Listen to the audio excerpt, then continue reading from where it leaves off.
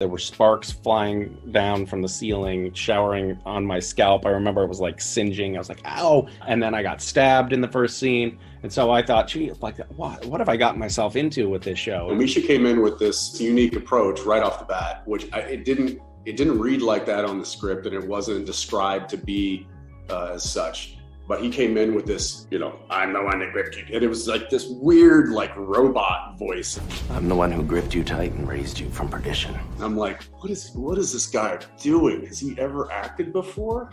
And I remember thinking like, oh well, this character's not going to last long. It was truly trial by fire in the very first scene, and yet I remember thinking how warm and welcoming and inviting the cast and crew were.